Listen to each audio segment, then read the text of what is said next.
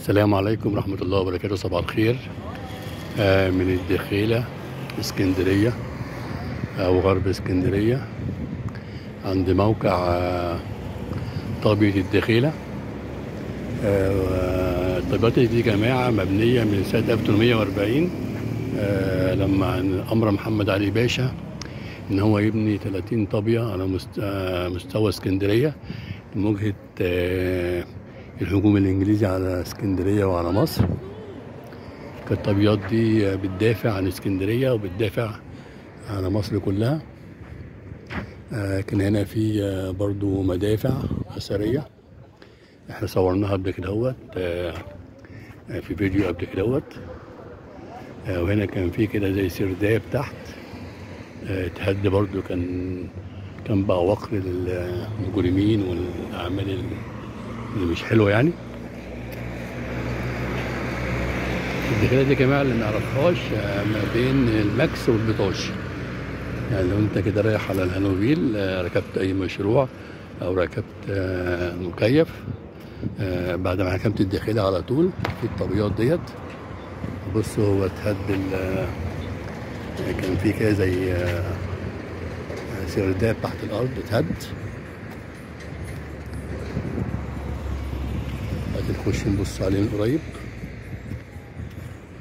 بس نشوف حتة نخش منها. في مدخل هناك أهوت. كده هنطلع بقى على البطاش والهانوفيل والواحد وعشرين. وحيد والصلب. المنطقة دي يا جماعة كلها داخلة في مشروع آه، مينا اسكندرية الكبير.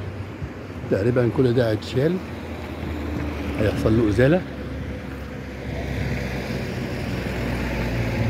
آه في مدخل كده أهوت من هنا.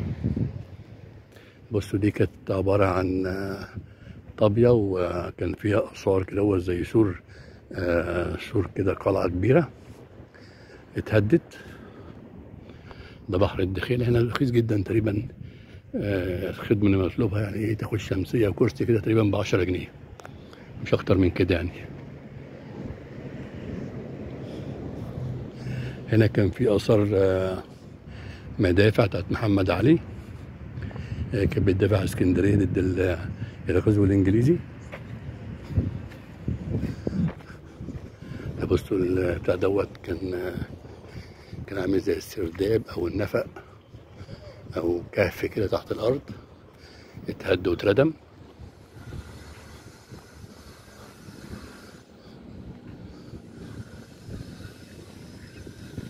ودي لسه الطابية برضو آه، آه، هتتهد مع مشروع التوسعة أو مع مشروع من اسكندرية الكبير. تقريبا من هنا برضو دخل نابليون اسكندرية عشان كده سموها الدخيلة الدخيلة دي كانت مدخل الغرباء وكان كل الناس بتيجي يعني كان أي حد عايز يخش اسكندرية يغزو اسكندرية كان بيجي من المنطقة دي. ده ال- الطابية. ومراكب الصيد الجميلة هنا برضو حتة كده كان في حاجة اسمها حوض هنا اهوت حوض السفن برضو هيتهد. كل ده داخل في مشروع آه، بناء اسكندرية الكبير.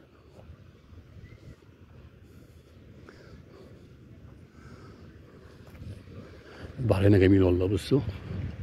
بس مش عارف من الزحمة ليه يعني؟ تقريبا المية هنا مش حلوة تقريبا يعني.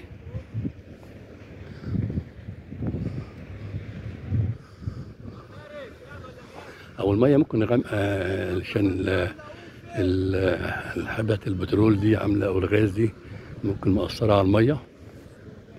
بس شايف صيادين والله. وبيزرعوا هنا سردين كتير جدا يعني منطقة ال- السردين دي. بص الشط كبير. دخلت ما حدش قادر رايح فين أنا جاي منين يعني؟ مفيش تذاكر ولا حاجة. الراجل اللي خلى البحر ملوش معالم منه لله حاجة بالاثار بتقاية الاثار يجي هدي منه لله. ونمسح ونعوض يا علي.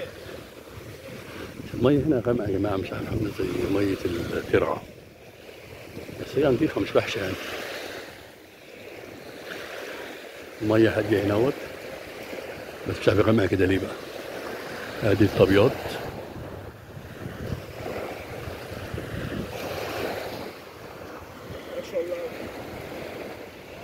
دخلت ولا حبيبي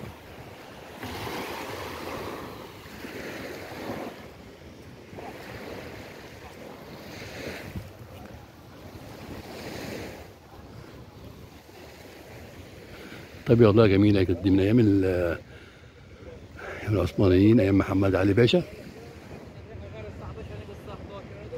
وده يهدوها برضو؟ ده يهدوها برضو؟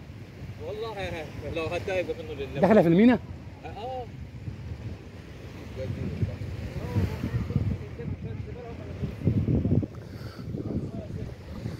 تعال نبص كده نخش جوه عليها. بص عبارة عن آه، مبنى مربع. ده كان آه، في مدافع هنا بتدافع اسكندرية. ضد الإنجليز أو ضد أي حد بيجي اسكندرية. بصوا هي اتهدت كده بقت بقت آثار يعني. هو كان في 30 قلعة شبه ديت في اسكندرية.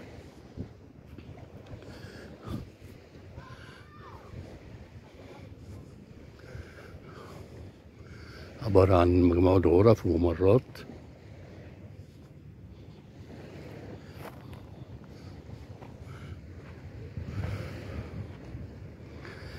وأنا في إيه بقى؟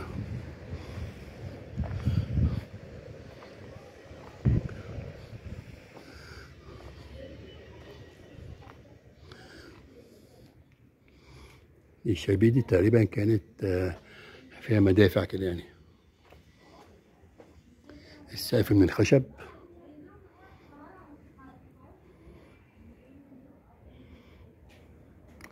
بص روح الخشب دي قد إيه؟ أو روح الخشب جامدة جدا. آه كانت مطلية كده باللون اللبني. والشايبيه دي طبعا كانت إيه؟ اللي بيدافعوا منها على اسكندرية.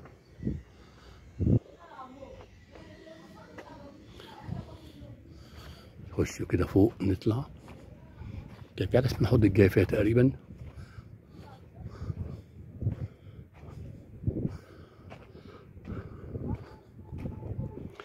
مجموعة من الغرف المهدمة.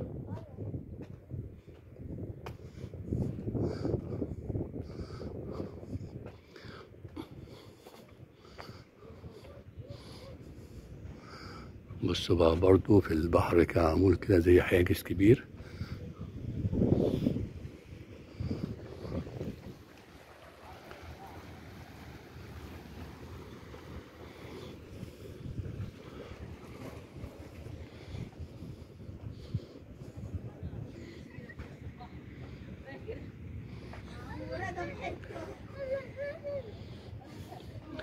نبص الناحية التانية دي في إيه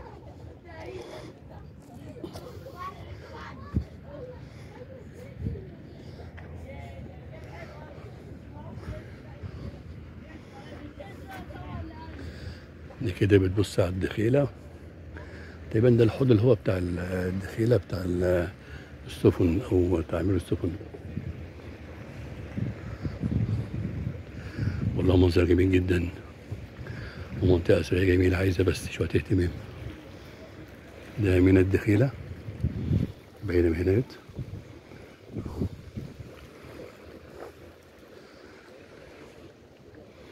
ودي حتة بتاعت الصيادين مكان للصيادين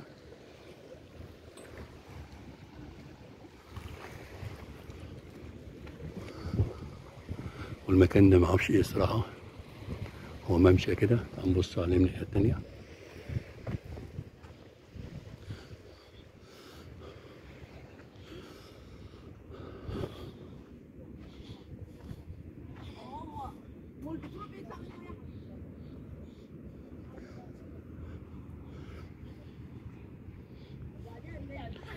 في كده مجموعة غرف دي جماعة تقريبا احتمال كانت آه، مبيت للعساكر والقادة والجنود ومخازن الأكل ومخازن السلاح.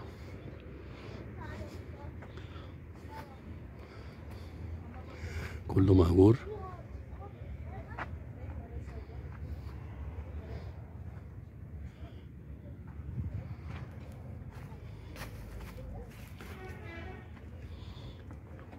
مجموعة من الممرات الداخلية.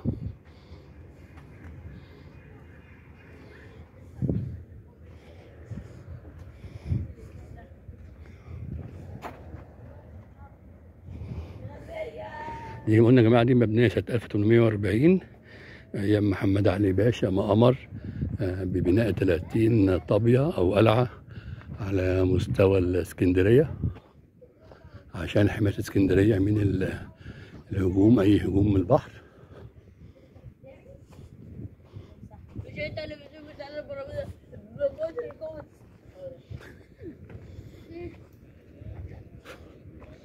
عاملين إيه؟ مزوغين؟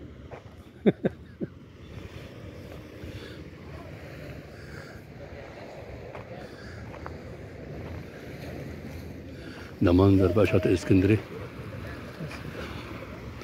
شاطئ اسكندرية من بعيد أهوت أو الدخيلة.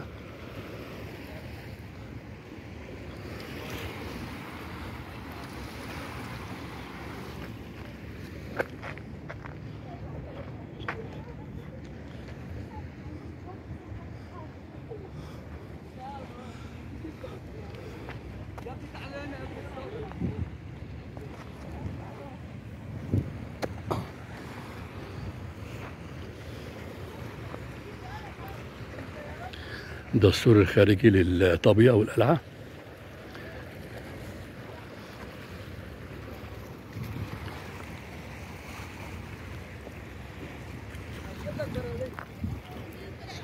وده الحوض تقريبا كان بيقول الحوض بتاع ال- السفن.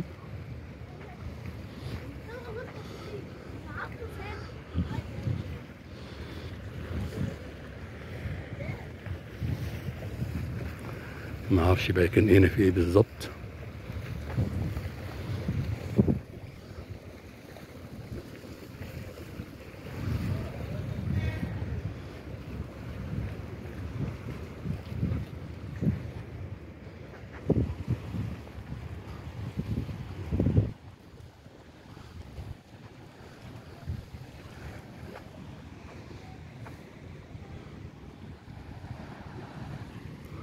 يا رب يا جماعة نكون فدتكم بحاجة.